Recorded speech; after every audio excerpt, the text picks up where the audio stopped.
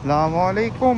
Good morning. Makkah Al Mukarramah, day 11 of Murabata.